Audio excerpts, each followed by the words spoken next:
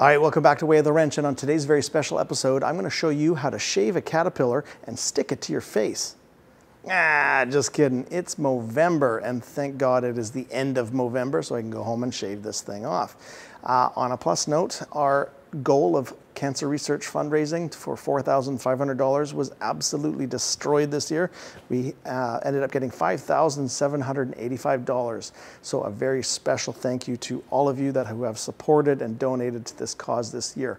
And uh, I fully uh, expect to see you guys' support next year, and we'll raise that target even higher for next year, especially as the channel grows. So once again, thank you very much for supporting a good cause and uh, sticking it to cancer. All right, take it easy.